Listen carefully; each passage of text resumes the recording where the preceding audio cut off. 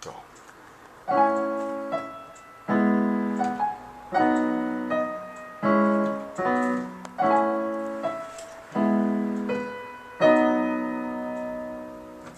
I bet this time up.